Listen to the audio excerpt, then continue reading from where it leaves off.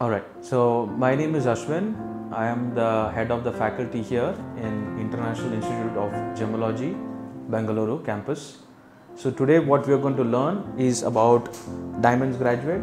In diamonds graduate we are going to learn about what diamond is all about.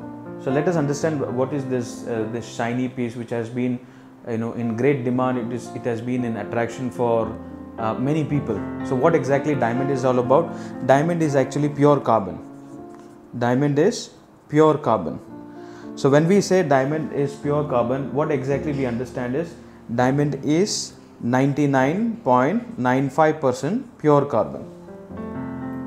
So normally what we understand is when we learn about diamonds, diamonds is like colorless. No, but diamond is can come in any colors. So when we say this word like diamond is pure carbon, it is 99.95% pure carbon. The remaining part that we see that is 0.05% that we call it as trace elements. Now when we say trace elements means these are the impurities or the trace elements that gives diamond the color. Suppose for example if the trace elements are nitrogen then you get yellow color. If the trace element is boron then you get blue color.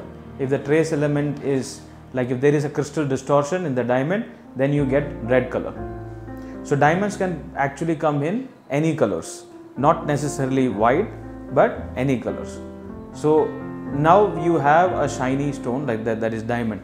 So how to price it? If we want to price the diamond so there is a value factor that we talk about that that we say as 4 c's. What are 4 c's?